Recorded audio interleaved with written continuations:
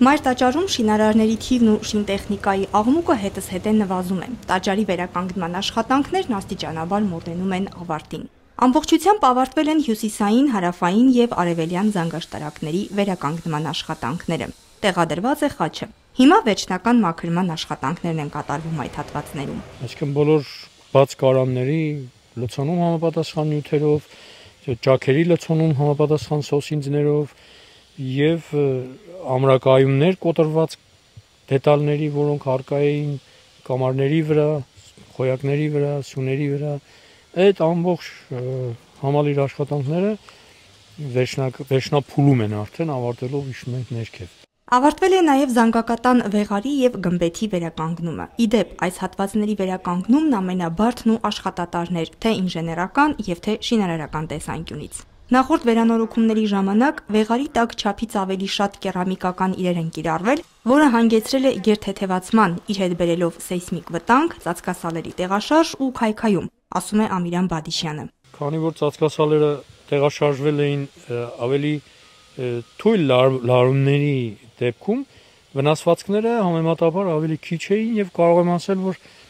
զանգակատան վեղարի ուրեմն ծածկասալերը վերաշարվեցին 100%-ով, այսինքն նոր քար այնտեղ չենք օգտագործել, բոլոր հին քարերը վերամշակելով, մաքրելով եւ համապատասխան միջոցառումներ կիրառելով օգտագործվել են հին քարերը։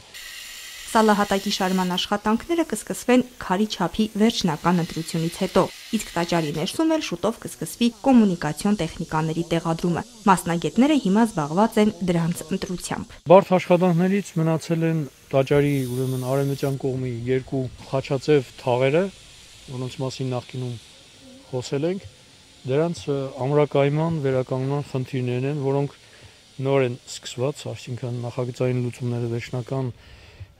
փուլի են եկել եւ արդեն համաձայնություն է ձեռք բերվել վերևի ծածկերից բացելու եւ մոտենալու թաղերին, որովհետեւ հնարավորություն ունենանք դրանք եւս ամրակայելու եւ վերականգնելու։ Տարիներ շարունակ ձգվող վերականգնման աշխատանքները հեշտ ընթացք չունեն։ Շատ են թե դրանց աշխատանքային ծավալները եւ թե նախատեսված ու չնախատեսված խնդիրները, որոնք երբեք չպակասեցին շինարարության ողջ ընթացքում։ Չպակասեց նաև այն նվիրումն ու վարպետությունը, որով արդեն մի քանի տարի է այս մարդիկ վերուվար են անում տաճարի 4 կողմում, նպատակ ունենալով երկար կյանք ապարգևել աշխարի առաջին քրիստոնյա տաճարին։ Սոնա Խաչատրյան, Հարություն Տոլանյան, Եկեղեցական կյանք։